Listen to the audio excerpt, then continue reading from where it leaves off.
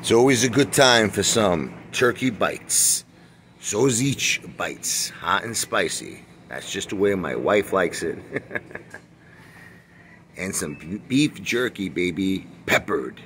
Oh.